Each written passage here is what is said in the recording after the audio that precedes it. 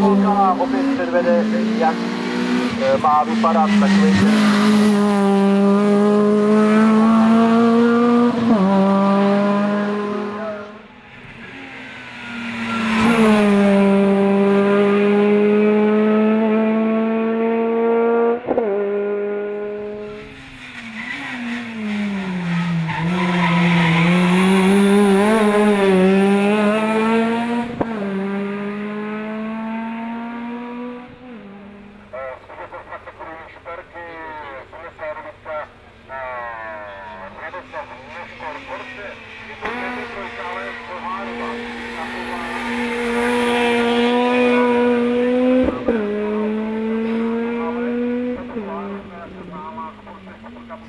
Spokojný som s tým druhým časom.